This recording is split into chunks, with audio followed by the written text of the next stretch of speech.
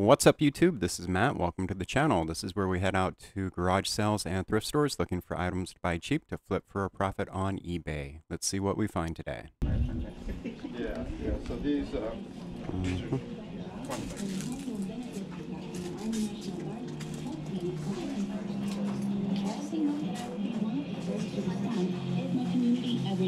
Sponsored by the Arizona Army National Guard, aired by the Arizona Broadcasters Association and this station. This weather is brought to you by Mother's Insurance. Visit us at mothersinsurance.com.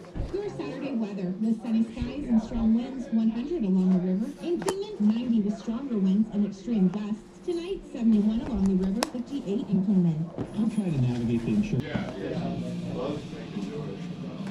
Three eighty Walther, that's a, Yeah. that's a odd job, huh? Uh-huh.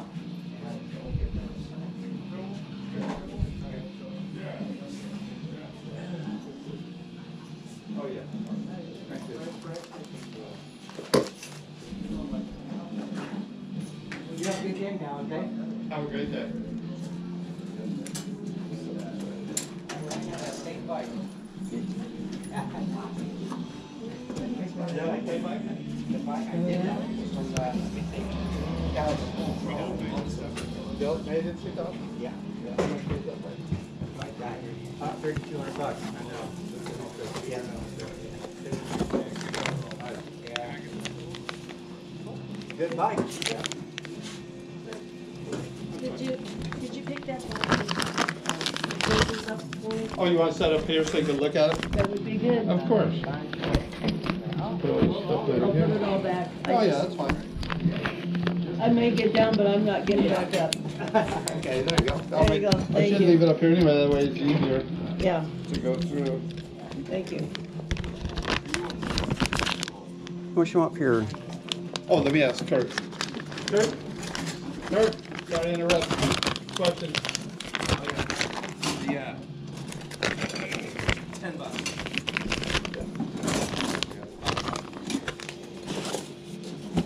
These are grips, right? Yeah, these are Yeah. grips. Well, the books are on the popular thing, I just wanted you to just go through some of the books. Oh, yeah? My parents have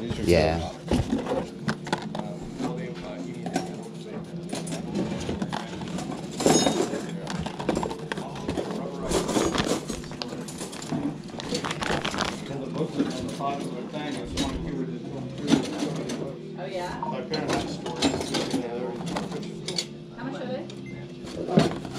Let's do these and then a dollar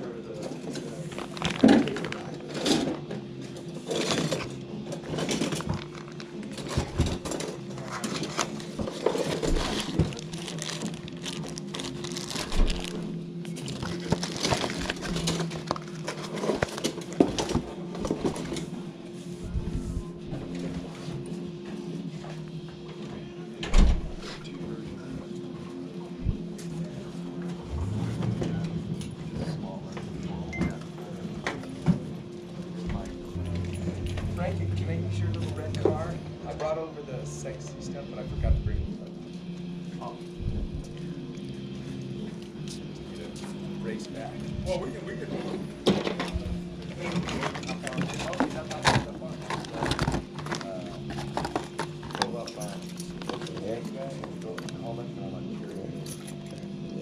I mean, it is, it's a Just tell me price Oh, and okay. stuff, so. Yeah. What are you thinking for these? Uh, Walther PPK. um, This, how much did you say? how about ten bucks? Yeah. We're trying to give everybody stuff real cheap. Everything's brand new, and then the grips are rubberized with um, how about five bucks each? Okay. So that's 10, 20, 30, 40 for both? Yeah, you can have the box too. And the box? Do you need an AR too? I don't. Okay. Yeah, I am. You need any s- any spacers for? Well, there's a, one spacer. That's for a Picatinny rail, but you might as well take it. Okay, cool. Okay. Thank you. All right. Let's go get it. And what? You got, you got the pillow. Oh, that's a bit like It's at his house though. Oh, Dusty. Everything gets so quick, right? There you go. Thank you Thank you, very sir. much. All right. Not yet. Now lunch. Maybe a beer or two? And beer's over at Smith's. Yeah. Thank you. That's the best deal. He'll be right back. Okay. Maybe. Undies. Uh-huh. Or that. Yeah.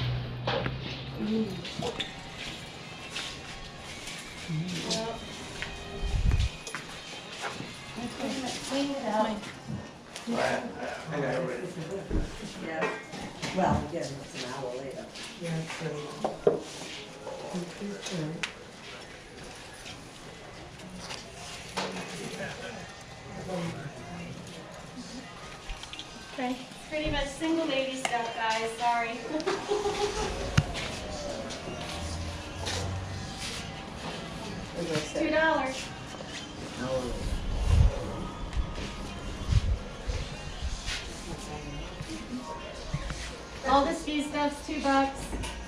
Boots, gloves, goggles, pants.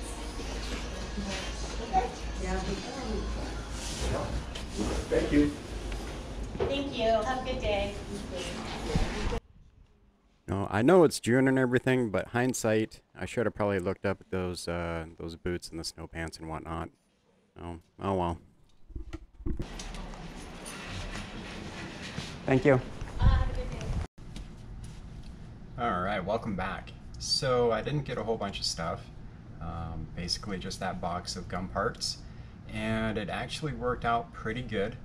Uh, the two magazines sold the same night that they were listed, uh, pretty much back to well back to back, as you can see in the picture. It was two different buyers. Um, so I paid forty bucks, and oh, what was that? I don't even remember now. uh, so yeah, like seventy-eight dollars or something like that. So that works out pretty good for me because the bipod is for me, and I already have one of those grips on my gun. I think that other grip is going to go to my brother-in-law who has a birthday in a couple weeks, and I'm sure he's got a a gun that can use a, a more comfortable grip. But have you guys ever run across one of those eBay trolls? So I have a past history of making the most interesting friends that I possibly can. And I used to blame my best friend because he would start up conversations with just the oddest of people in the most randomest of places. And then they would gravitate towards me and just like laser focus and like for the next 25 minutes would just talk nonstop. And they always ended up being super strange. Um, so how long ago is this? This is about a week and a half ago now. Uh, I had a uh, a train, a train car uh, that I was selling uh, for twenty five dollars plus shipping and handling, and uh, the sold comps were the last two sold for like twenty two dollars plus shipping and handling, and I thought mine looked a little bit nicer, so I went ahead and bumped it up a couple dollars. Um, I thought I was being very reasonable at $25 plus shipping based on the condition and the fact that there was no others for sale. Uh, this gentleman here definitely, definitely uh, did not like what I was doing. So let me go ahead and share with you um, a couple of the emails that he has uh, sent me. And uh, it starts off with it starts off with Can I ask a serious question without being blocked? Why do people expect four to five times more than a train show price? And I apologize, I have to keep trying to look around the camera to see this. Um, it's bad enough we have to fight with high feedback pro mods and bid, and I don't even know what that means. Uh, why is it that I can find cars cheap if I can find them at train shows?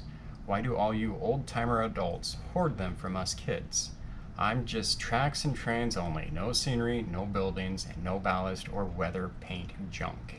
Why are people so greedy or jerkish over these trains? Even train shows now jack them up to match eBay morons who fight like babies over toy trains meant for us kids. I've been buying at shows for five years now, but Hoarder Pro mods trash most of them. It must be an old timer thing. Are any of these going to be in factory meant shape or condition for us kids? Or are you, or are all you people so into visual wonderland that you have to trash them with paint or weather dirt you find outside? It's sad how adults treat these. I even treat toys better than adults. Sorry, but these prices are nuts. It's 40 plus bucks on my end after shipping, taxes, etc., and that's crazy for toys, isn't it? Question mark. So, the first thing that, that jumped out at me is the fact that uh, when I looked it up on my phone, like it took up my entire screen. And I was just like, oh, wow. And anytime you start off, um, can I ask a serious question? Question mark. Without being blocked? Question mark. Lets me know that this guy's probably got some some issues. And so I kind of sat on it for a couple hours, and I, I know that we're supposed to be proactive with our messages, and I try to be. I try to respond as soon as I see them. But this one, I was like, oh, I don't even know what to say to this guy. Like, is he really busting my butt over a couple dollars? Um, and then I kind of started to think about it, and I was like, well, I am kind of new to the train thing, and some of these guys I'm selling against uh, have 11,000 um, feedback points or score, or whatever that thing is, and I'm at like 338. So um, I sat on it and I did reply, and I kept mine much, much shorter. And I started off by saying, laugh out loud, thanks for assuming I'm an old timer. I know I'm getting older, but I'm not quite to the old timer stage yet. Uh, have you heard of the saying about assumptions? Because he made a lot of assumptions. So, you know, uh, supply demand works both ways for those motivated, but you whippersnappers are too busy playing with your butt whoosies and TikToks, rarely looking up to see what's going on around you. I was trying to be funny by saying, you know, what whoosies. I don't even know if I've actually heard that before. I must have. I don't think I came up with that on my own. But I was trying to kind of make a little like joke by saying whippersnapper. Um, I honestly haven't heard that in at least 20 something years. Um, so I go on and I say, I look at 90 day sale amounts for similar items and base my pricing based on supply and demand. It is what it is. I've seen an HO engine go for, uh, HO is the size, for over 1200 bucks the other day. That is crazy. Seen a GI Joe sold for 500 bucks the other day. Just nuts. I don't know how much this stuff goes for brand new, as I'm more interested in the older stuff that is harder to find and more desirable for collectors. And that's kind of what I've been doing with the trends. I'm trying to find things that aren't, you know, brand brand new, like just released yesterday.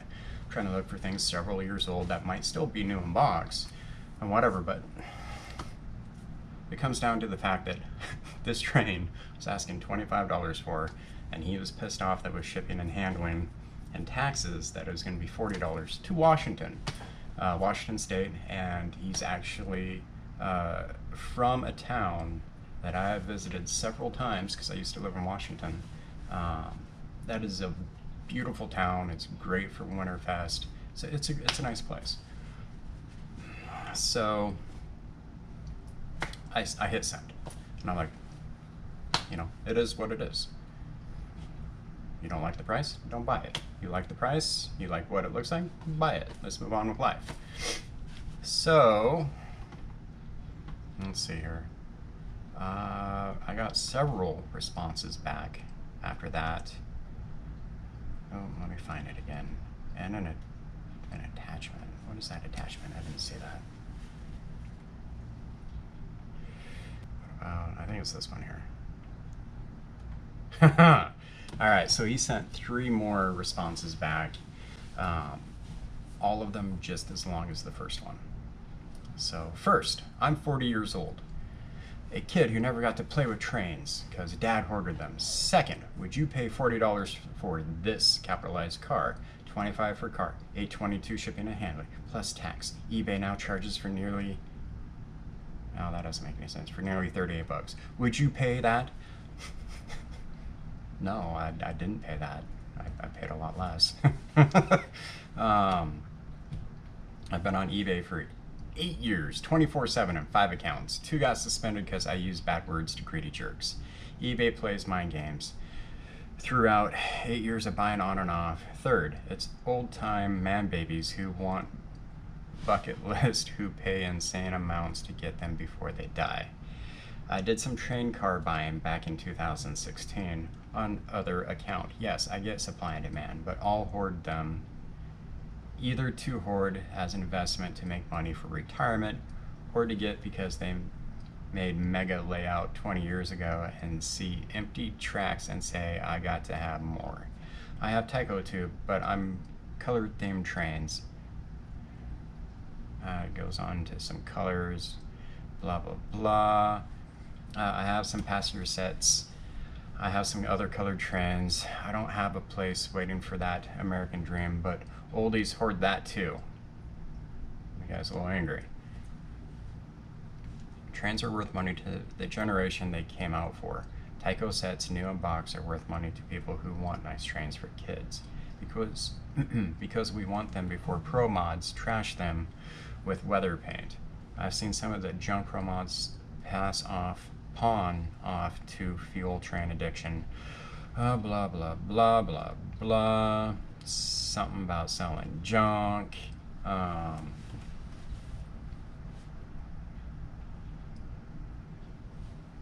So that's pretty much how that one wraps up.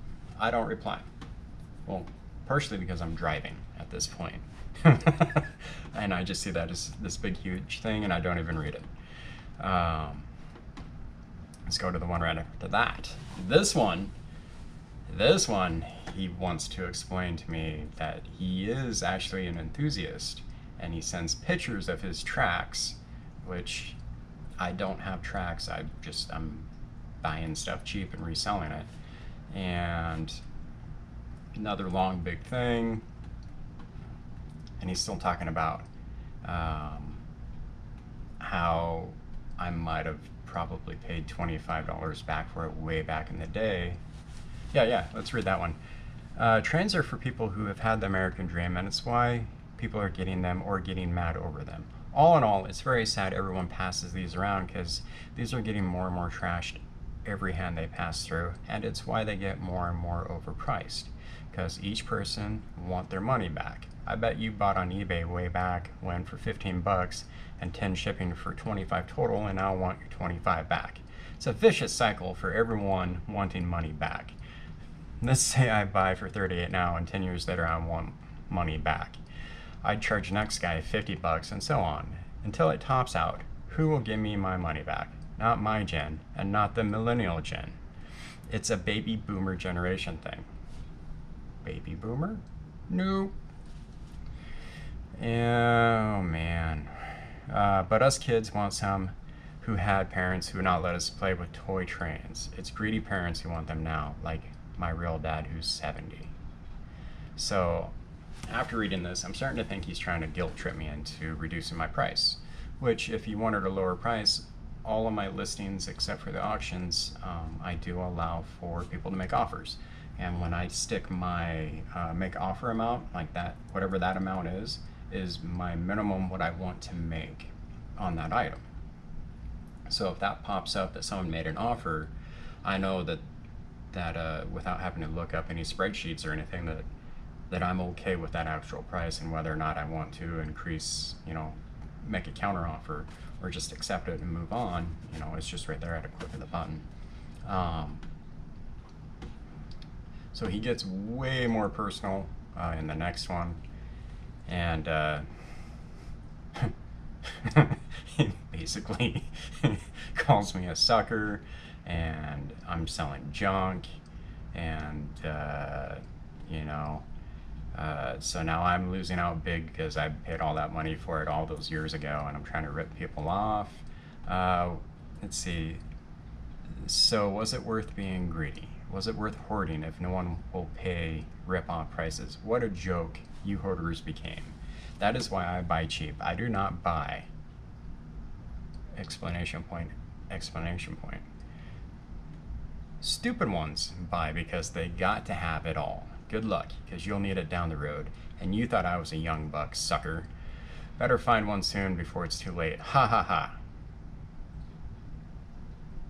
So yeah, I make very interesting friends. Um, I still haven't replied to any of this. I thought about um, sending him the uh, sold comp for when the train did sell like two days later for $25 plus shipping. And it went much further than Washington. And he paid a lot more than, than $8 and some change in shipping. So I just thought I'd share with you guys. Um, do you uh, do you toy with them? Because I did send a I sent Amber a text and I was like, I think this guy's just messing with me. He's not really busting me up over a couple, you know, a couple dollars, is he? Like, no way. There's no way. And I was like, well, I'm new to this community here, and and you know, maybe they're just trying to you know mess with me. Because like I was saying, like, like the, the whole train community, those guys selling, they're, you know, 10, 11, 12, 13,000 uh, reviews and whatnot, and, and they all have great scores. So I, I, I, I kind of assumed this guy was messing with me, but I really did want to mess with him back. And it came down to two different questions. Um, the first question is, how much would it really make me laugh? It would probably make me laugh a lot.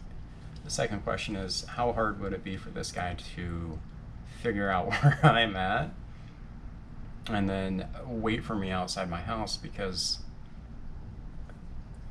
that's kind of the vibe I was getting from him. He's got something not quite right going on there. But yeah, so I just wanted to share that with you guys. What would you have done? Um, I, I still kind of want to mess with them. Um, I also, a side note, I also had a couple of other um, very unique brand new trains from 1983.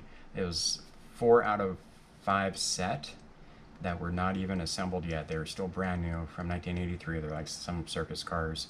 Only one of them had a sold comp. The other ones aren't anywhere on eBay sold uh, individually. The one that did sell had a sold comp for like $83 plus shipping. And then the only other listings available, uh, the uh, guy's got all five of the set, and he wants like $350 plus shipping for it. So I thought about sending him my listing for that as well. Uh, you know, asking you know three hundred dollars, or I think I'm actually only asking two hundred and twenty. but you know, supply and demand. There's one other that's a complete set for three fifty, or you can buy one or two individual pieces for sixty to eighty, or do you want all four for you know two twenty, which is not a bad price really if you think about it. But uh, yeah, so now I'm just rambling, and I apologize. Um, hopefully, I get uh, I get some better garage sales out there, and uh, we don't have to spend time talking about these trolls. But I thought it was kind of worth sharing because I do really make lifelong interesting friends. We'll see you guys next week. Take care.